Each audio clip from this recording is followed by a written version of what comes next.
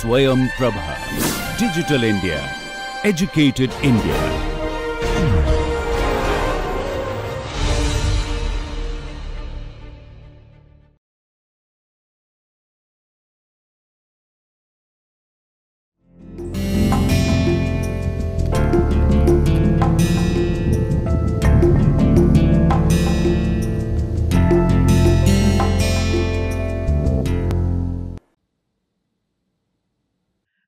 Good morning, dear students. Welcome to lecture number 8. In one of the previous lectures, we saw how the British established themselves in Bengal through the two battles of Plassey and Buxar. In this lecture, we are going to see how the British established their supreme authority in Mysore through the study of Anglo-Mysore wars. There were four Anglo-Mysore wars in which the British finally emerged victorious. Now we are going to see how the British was able to defeat the Mysorean rulers and establish their authority in Mysore, starting with the early days of Mysore. From the 17th century onwards, Mysore was ruling by a Hindu Odayar family. It was during the period of the Chikka Krishnaraja Odayar. The two brothers named Nanjaraj, he was the minister in charge of revenue, and another Devaraj, he was the commander in chief of the Mysore forces. They reduced the Mysore ruler to the status of a puppet and assumed the original authority. They became the de facto ruler. Krishnaraj became a de jure ruler. While during this time, quadrangular conflicts was going on in South India between Marathas, Nizam of Hyderabad, English and the French. In this previous lecture entitled Carnatic Wars, we went through the three wars engaged between the French and the English in South India. And this quadrangular struggle among the country powers and between the Europeans, especially between the French and the English, brought Mysore into dangerous politics.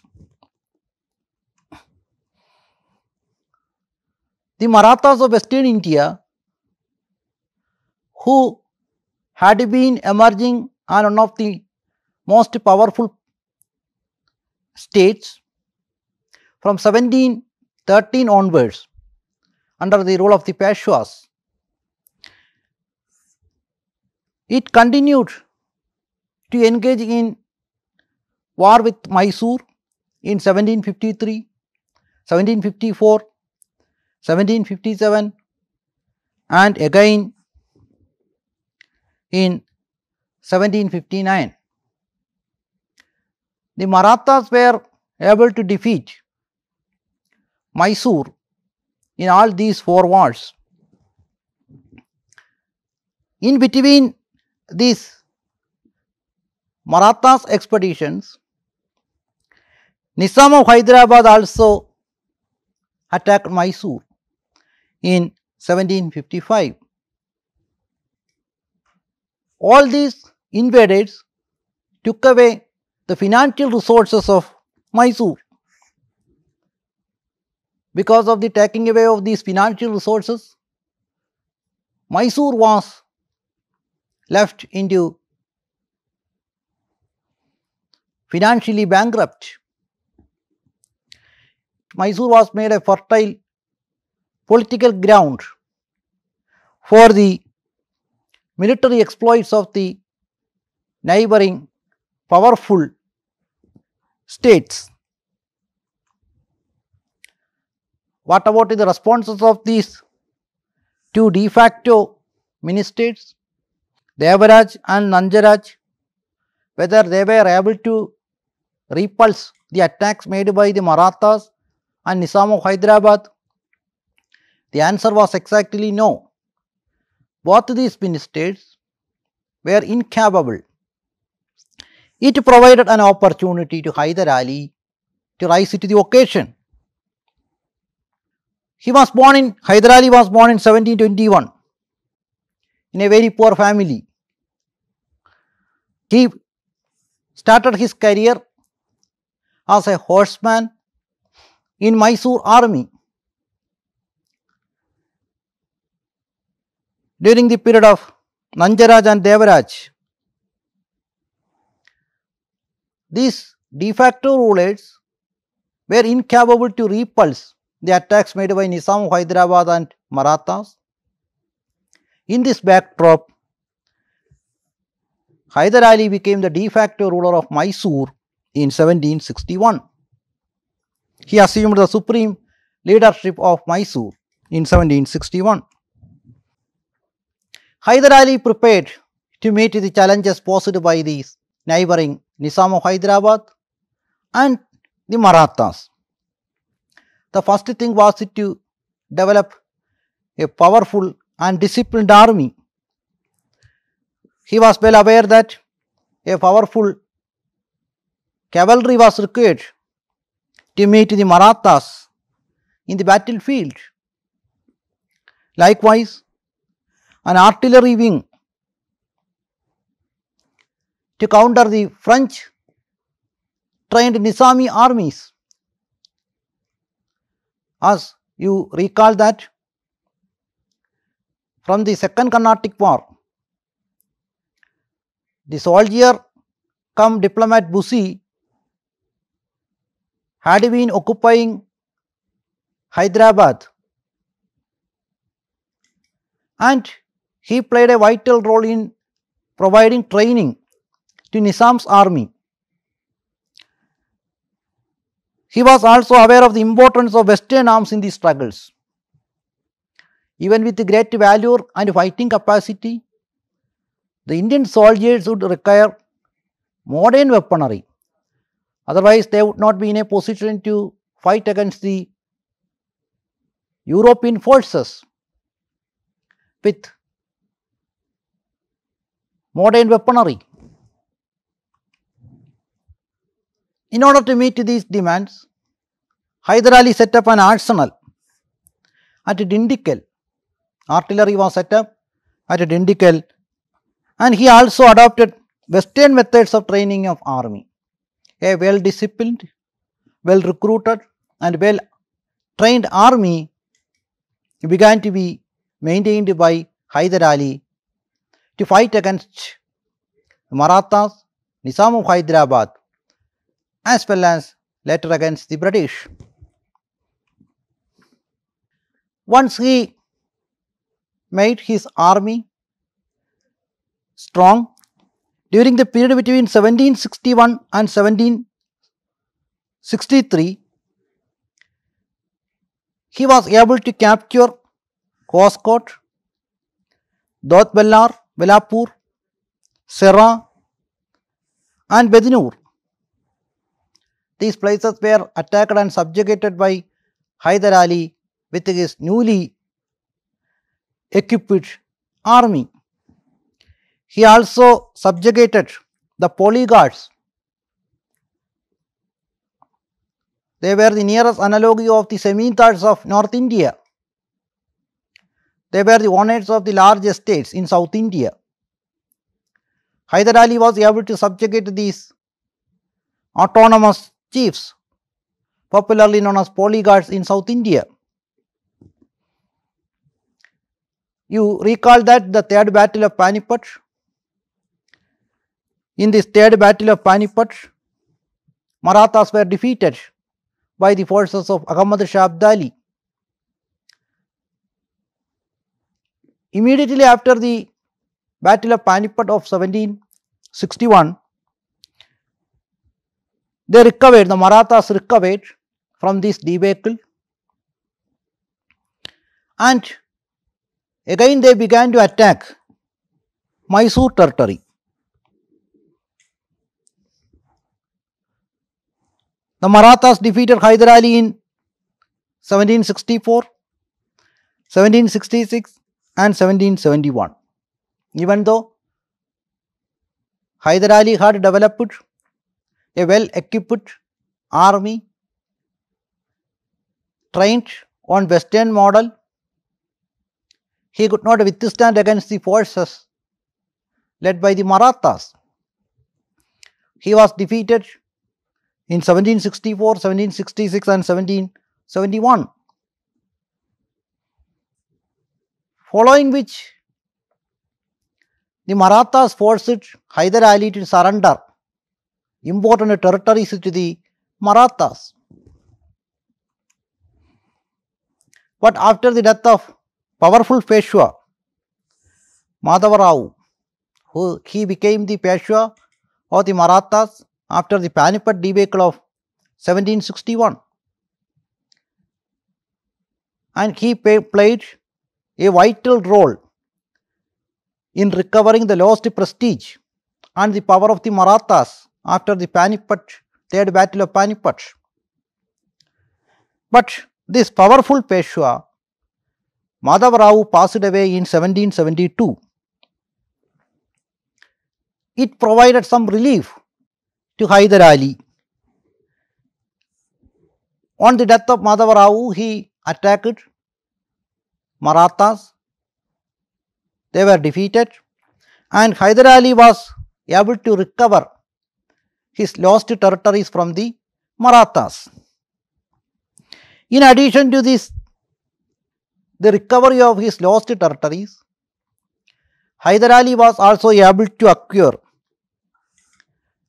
Bellari, Kadapa, Guti, Kurnool and the territories in the Krishna Tungabhadra Doab. These places were acquired by Hyder Ali after defeating the Marathas.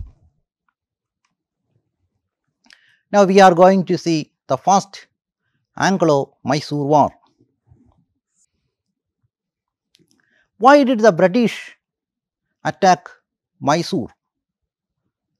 Let us have a look the reasons behind the attack of the British in Mysore. The Mysore rulers had control over the rich trade of the Malabar coast. Malabar coast was known for trade in spices, especially in pepper and cardamom.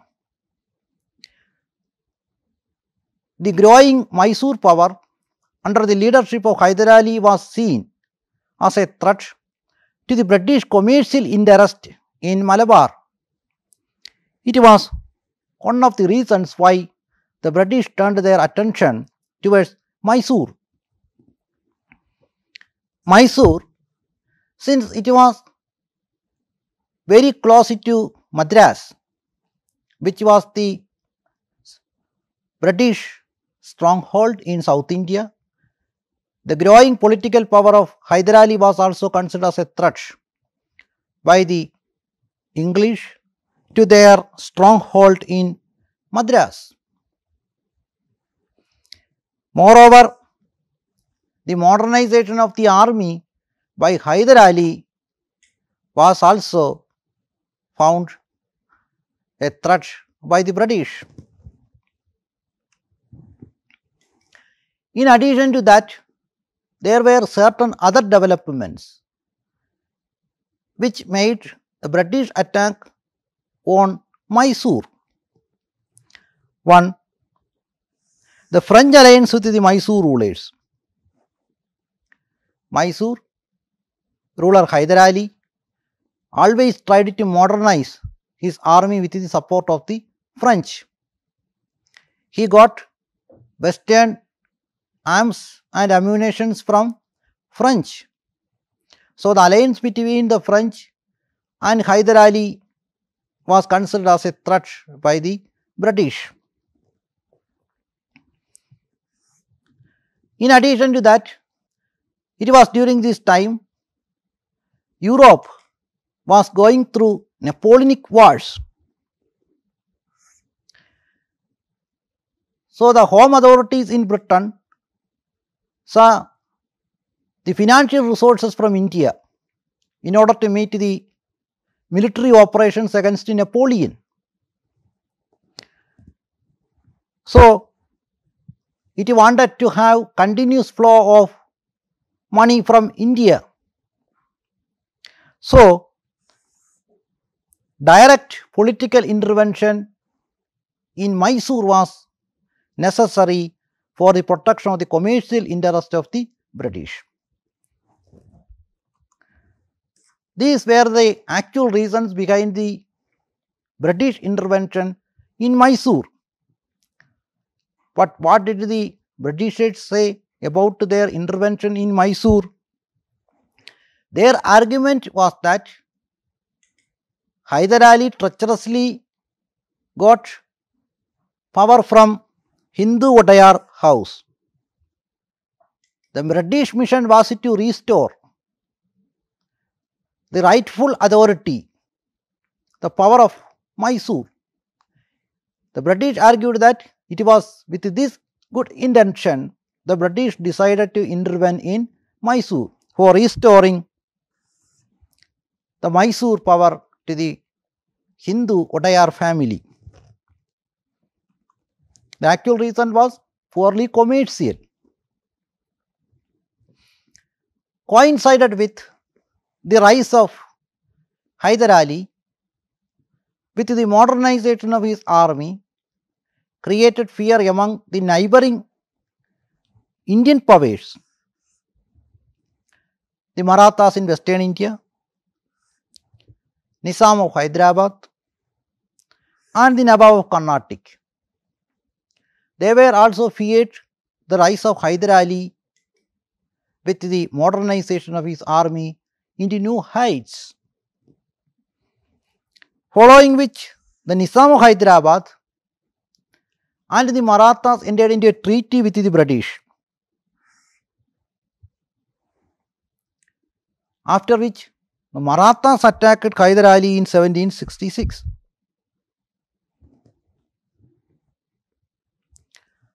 However, even though Marathas and Nizam of Hyderabad entered into alliance with the British, Hyder Ali persuaded Nizam of Hyderabad and Marathas and he brought these two powers to his side.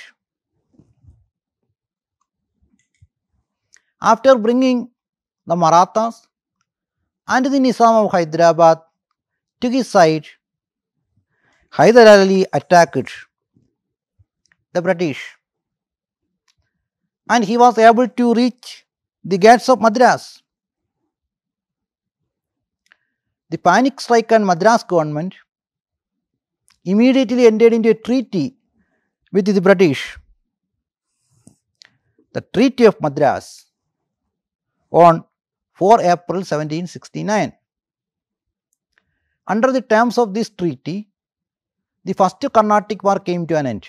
The first Carnatic War, which started in 1767, which came to an end by the Treaty of Madras signed between English and Mysore ruler Hyder Ali. Under this treaty, it was decided to maintain status quo, that is, mutual restitution of their territories. The status quo was developed. It was also agreed to help with each other during the attack by a third party. If the Mysore was attacked by a third party, the British would come to save Mysore. Likewise, if the British was attacked by a third party, Mysorean ruler Hyder Ali would come into forefront to save the British.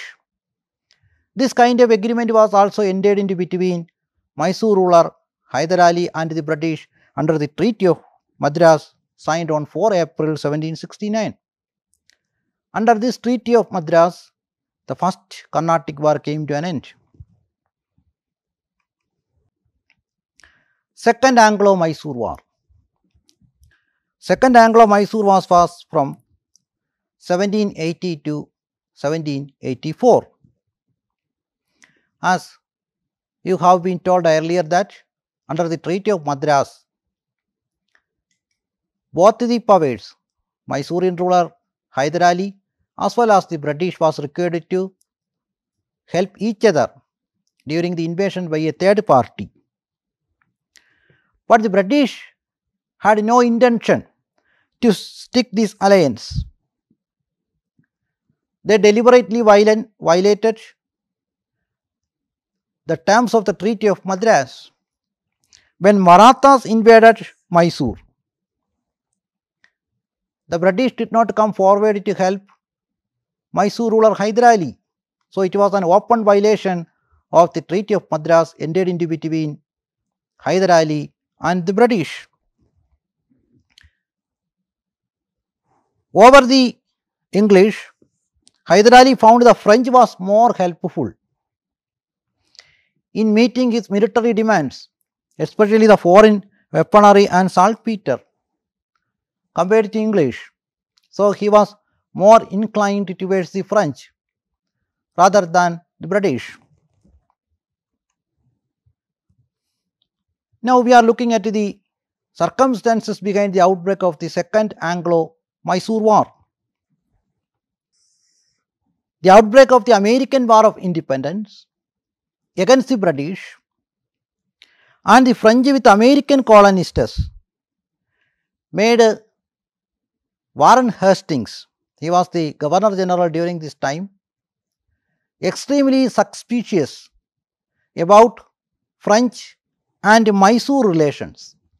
As you have been told earlier that Hyder Ali used to get arms and ammunition from French.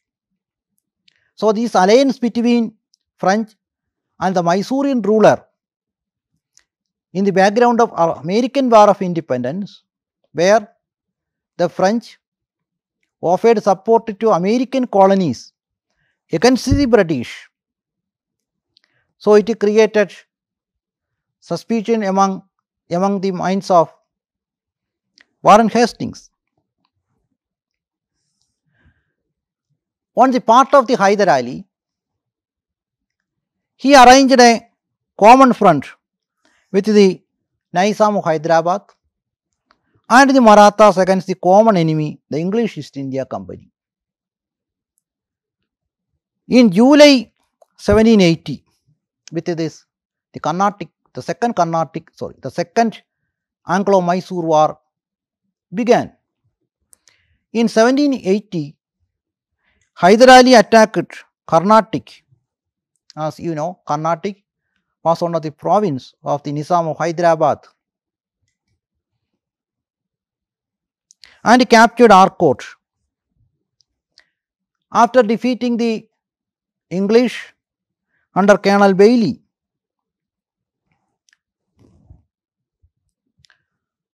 on the other side, the English attempt to capture a French settlement at Mahe. It provided the immediate background for the outbreak of the Second Anglo Mysore War. In 1780, Hyder Ali captured Arcot, the capital of the Carnatic.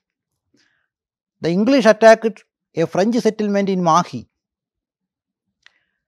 This Mahe was considered as within the territorial jurisdiction of Hyder Ali. That is why he decided to strike back. Again, the British was able to bring their side, the Nizam of Hyderabad and the Marathas. In 1781, with the support of Nizam of Hyderabad and the Marathas, the English was able to defeat Hyder Ali at Porto Novo. The English forces were led by General Sir Eyre Coote. At Porto Novo, Hyder Ali was defeated by the English forces with the support of the Marathas and the Nizam of Hyderabad. In the following year, however, Hyder Ali was able to inflict a defeat on the British. He defeated a force under the British Colonel Braithwaite, but he was not able to continue his struggle against the English. In 1782, during the course of the Second Carnatic War, Hyder Ali died of cancer. After his death, Hyder Ali's son became the next ruler of Hyderabad, next ruler of Mysore, and he led the Second Carnatic War against the British. He carried on the struggle against the British. Tipu was able to defeat English forces at Bedinur. However, the struggle between Tipu and the British continued. Each side was not able to win over the other. So, on the part of the British side, the Anglo French conflict in Europe came to an end. So, it was time to establish peace between the French and English in India as well. And because of the continuous war, the financial resources in Madras got crunch. On the part of the Tipu Sultan, whether he was interested in continuing the struggle against the British? No. Immediately coming to power, he wanted to turn his attention towards strengthening his administration. He came into power during the course of the second Carnatic, uh, second Anglo-Mysore war. So he wanted to strengthen his administration. So both the British and Tipu Sultan wanted to discontinue the war. So Lord Macartney, he was the governor of Madras. He took the initiative to enter into a peace between Tipu Sultan and the British. It culminated with the signing of the Treaty of Mangalore between Tipu Sultan and the English. Under this Treaty of Mangalore, the second Anglo Mysore War came to an end in March 1784. But it did not provide, this Treaty of Mangalore did not provide a permanent solution in the struggle between Tipu Sultan and the British. Tipu Sultan wanted to completely eliminate the British from India with the support of Turks and the French. For this purpose, he sent emissaries to Turks and Constantinople in 1784 and again in 1785. He sent a mission seeking military help from Turkish rulers. He also sent another mission to the French king in 1787 seeking military support against the English in India. Now coming to Third Anglo-Mysore War. Third Anglo-Mysore War was from 1790 to 1792. In 1786, Lord Cornwallis became the Governor General of India. Once he reached India, as the Governor General, Lord Cornwallis saw Tippu as his chief rival to the British interest in South India. So he was to be defeated. And again, the Indian forces, Nizam of Hyderabad and the Marathas of the Western India, brought it to the side of British. And they arranged a triple alliance in 1790. It was at the initiative of Lord Cornwallis to defeat Tipu Sultan once for all. Lord Cornwallis arranged an alliance with the Marathas in Western India and Nizam of Hyderabad. Now we are going to see the immediate background of the third Anglo-Mysore war. Tipu's differences with the Raja of Travancore provided the immediate background to the Third Anglo-Mysore War. Travancore was a protectorate of the British since 1784. The Raja of Travancore purchased Jaikottai and Kranganur from the Dutch in Cochin state. These two places were located in Kochi and from Cochin from the Dutch in Cochin state these two places were purchased by the Raja of Travancore. Tippu considered Cochin state as is a tributary state. So Tippu Sultan considered the purchase of Jaikottai and Kranganur by the Raja of Travancore from the Dutch in Cochin state as a violation of his sovereignty. It provided the immediate background for the Third Anglo Mysore War. Hence, Tippu decided to attack Travancore in 1790. With this, the Third Anglo Mysore War commenced. As you have been told earlier, Travancore was an protectorate ally of the British since 1784. Waiting for a war by the British, the British sided with the Raja of Travancore against Tippu Sultan. It brought the British and the Tippu Sultan again on a war front. Thus, the Third Anglo Mysore War commenced. It was Governor General Lord Cornwallis him himself assumed the charge of the armed forces and he was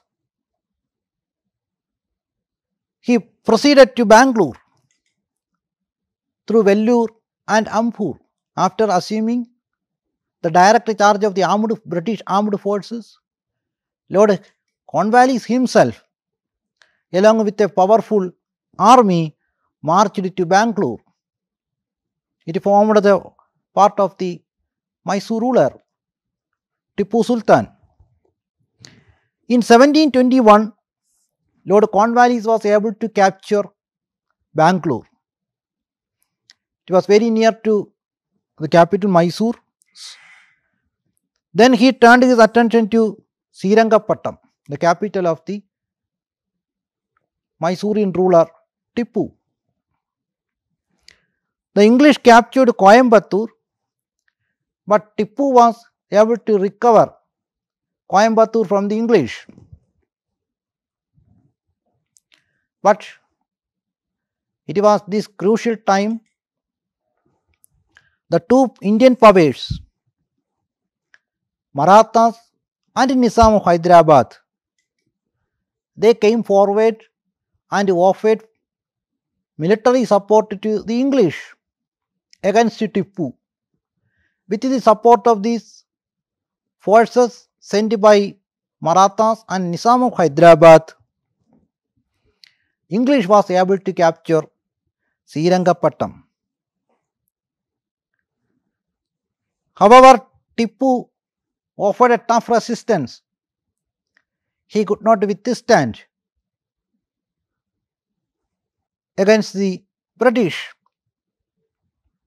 In this third round of struggle between the British and the Mysorean ruler, the British emerged victorious. After the failure of Tipu Sultan, the English and Tipu Sultan ended another treaty. This treaty was Treaty of Srirangapattam. This treaty was ended in March 1792. This was the third treaty ended into between Tip- uh, the Mysorean rulers and the British. The first treaty was Treaty of Madras, and the second treaty was Treaty of Mangalore, and this was the third treaty, Treaty of Srirangapattam. What were the terms of the Treaty of Srirangapattam? 1.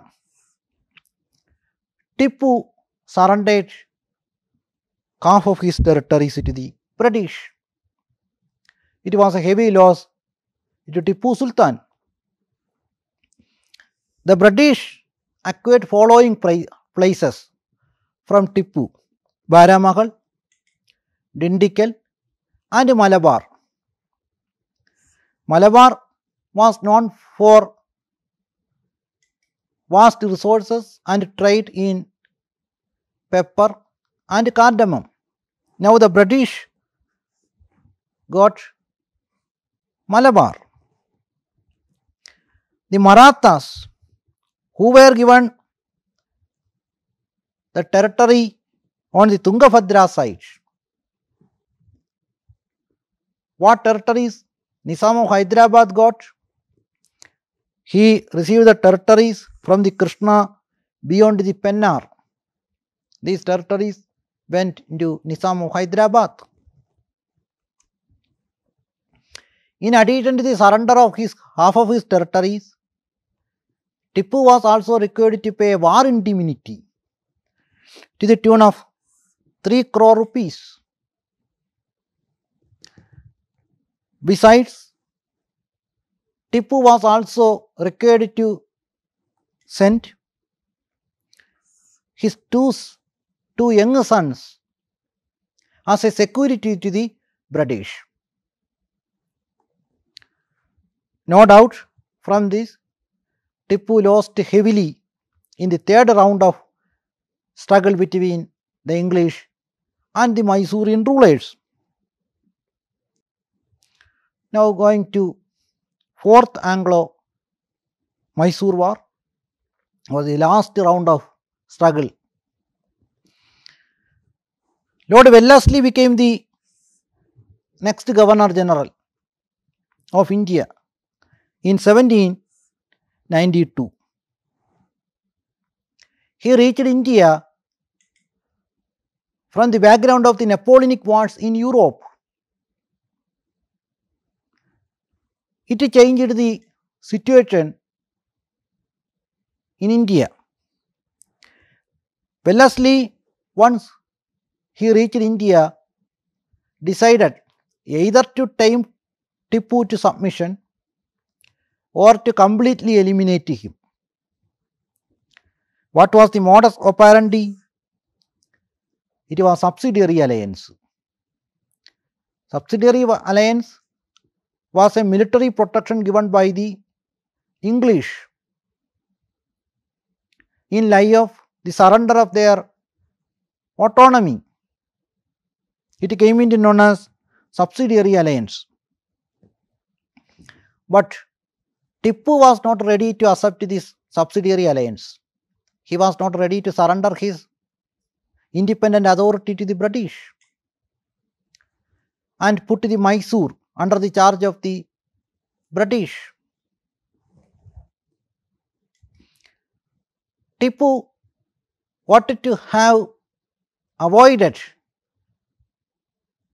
military conflict with the British by accepting subsidiary alliance.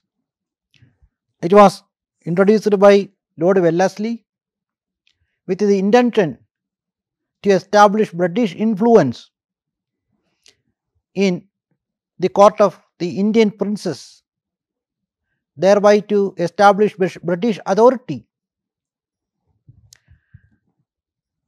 It was the it came into known as subsidiary alliance. The British would deploy their own armed forces for the protection of a Indian ruler from internal as well as external attack. And in return, the Indian ruler was required to make an annual payment to meet this maintenance of the military for the protection of the Indian ruler. This came into known as subsidiary alliance. It was invented and effectively introduced in different parts of India by Lord Wellesley. But Tipu was not ready to surrender his independent authority. He openly said it was better to die like a soldier rather than to live a miserable dependent of the oh, miser- miserable dependent on the infidels, the non-believers, in list of their pensioned rajas and nawabs.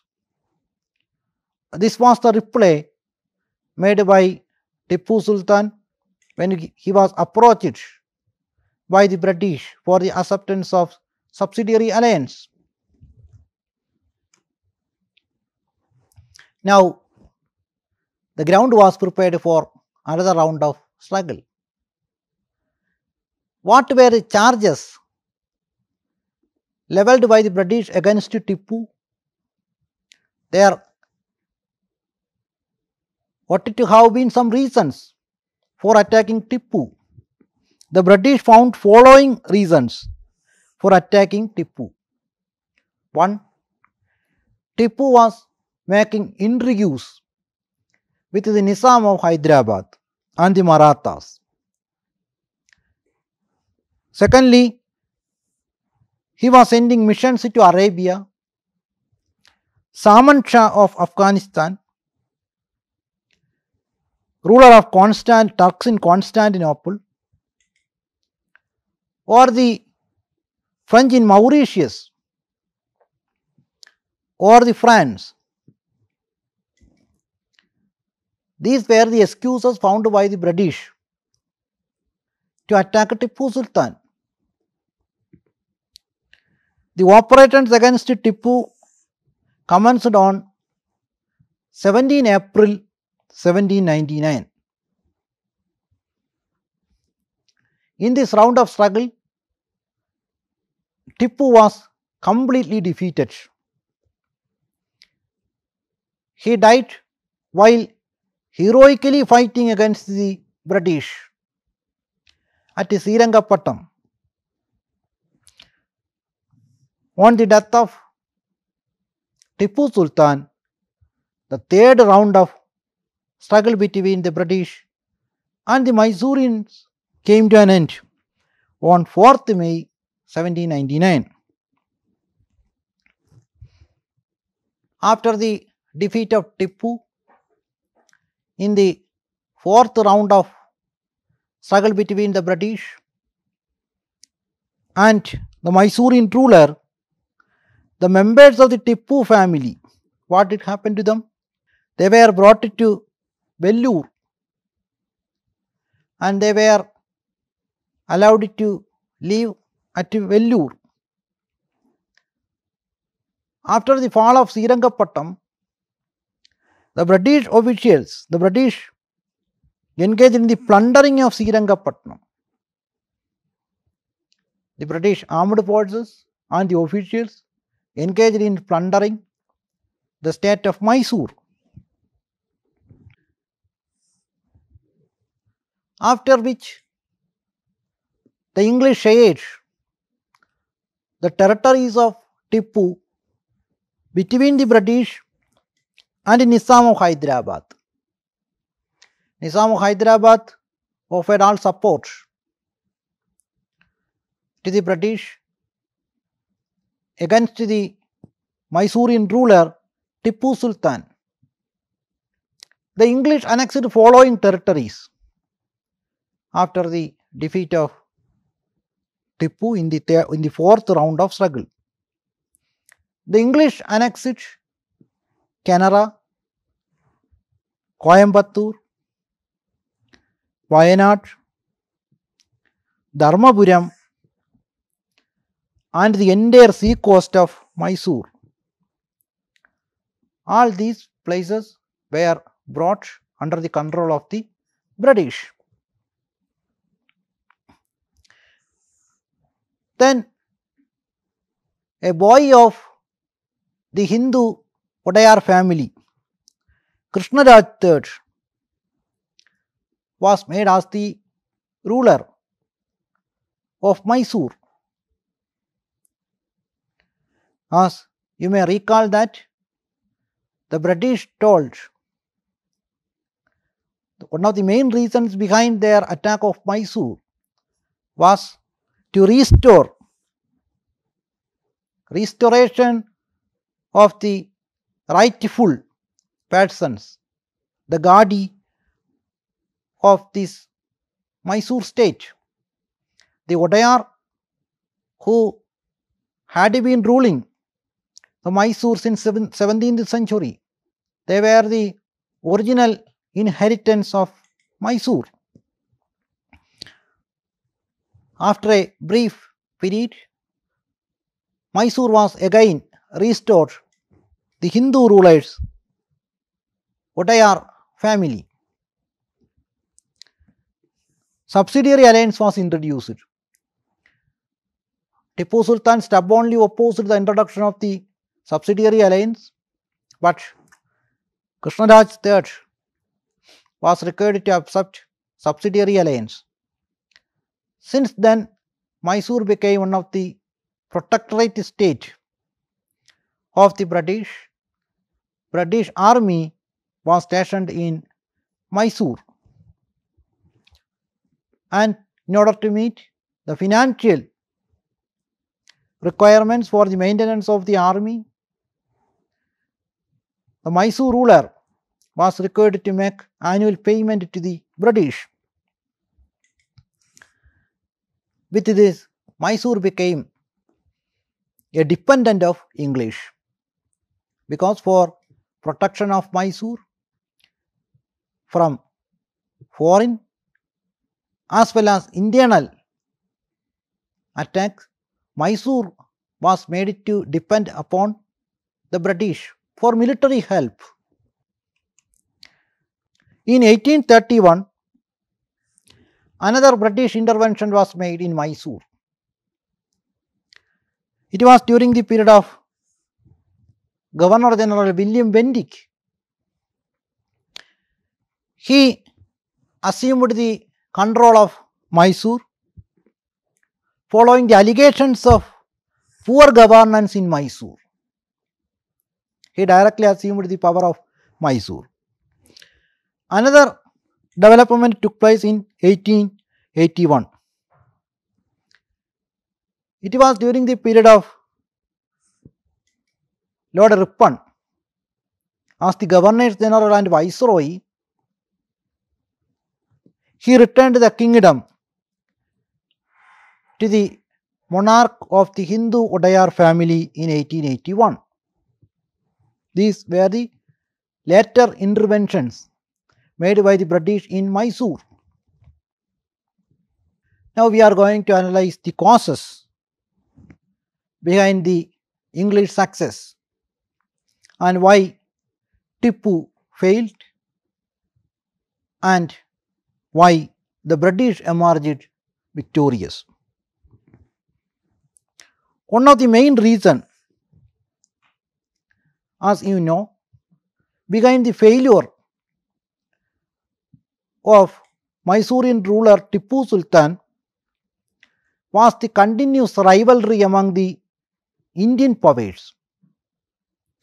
Most of the time, Nizam of Hyderabad or the Marathas or the Carnatic engaged with each other in prolonged struggles.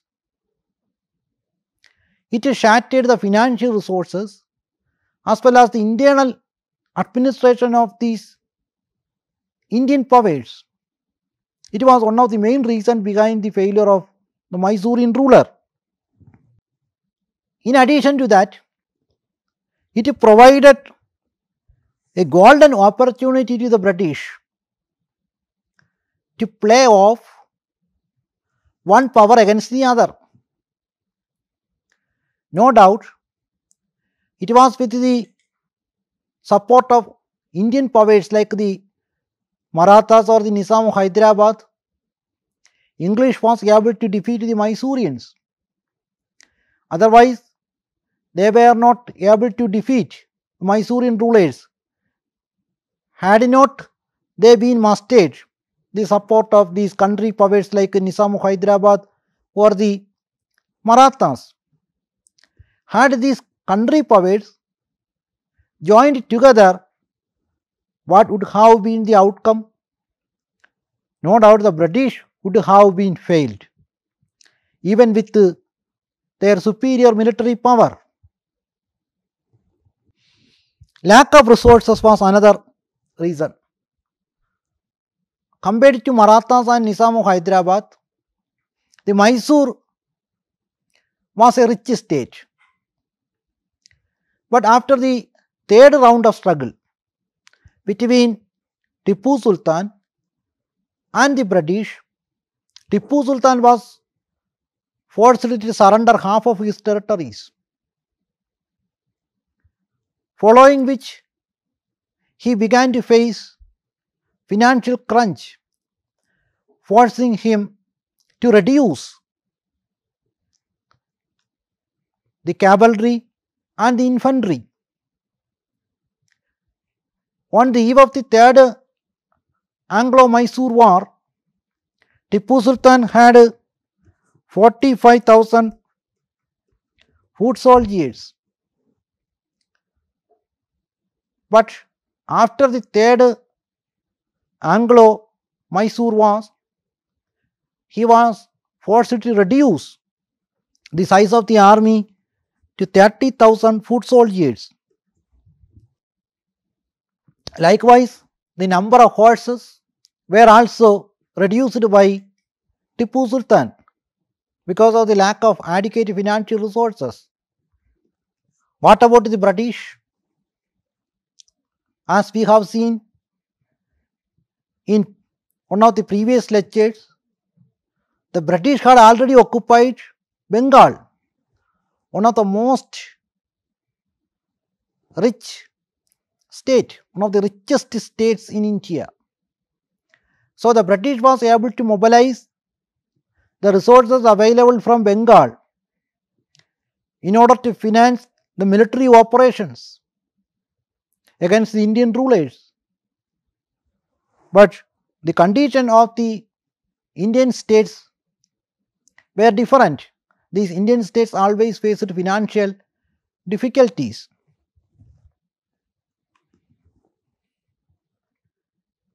As you have been told earlier, after the third round of struggle, he lost his half of his territories. It resulted in the reduction of revenue, following which he was required to reduce the strength of his military. It provided an opportunity to the British to defeat Mysorean ruler Tipu Sultan. Even though he made alliances with the French,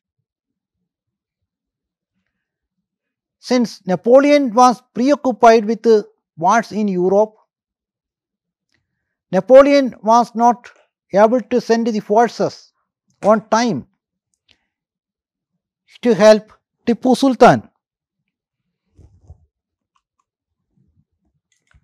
Certain historians argue that Tipu Sultan was failed because of the fact that his army men and administrators were Hindus.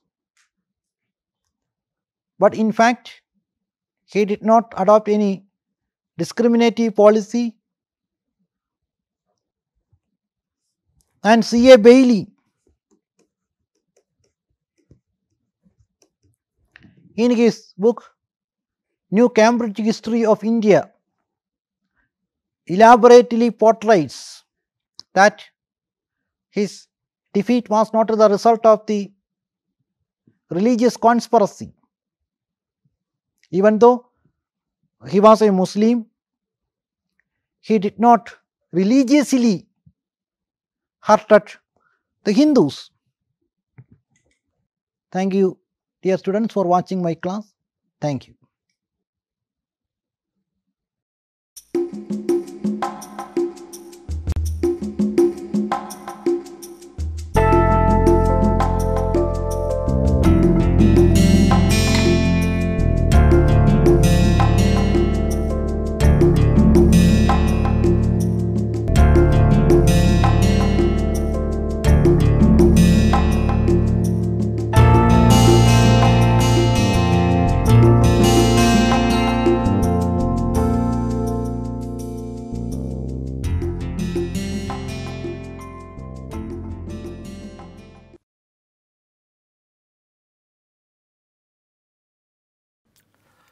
Hello and welcome to this piece of literary snippet. Perhaps the most popular literary genre after novel is the short story. Sharp, compact narratives whose charm lies not only in what is said, but also in what remains unsaid.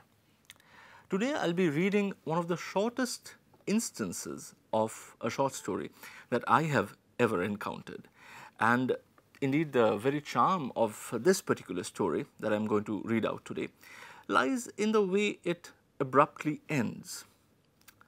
It is an ancient tale from Mesopotamia which has been retold by several authors among whom the name of Somerset Maugham stands out. Uh, the adaptation that I will be reading out is perhaps the closest to the one that Maugham wrote.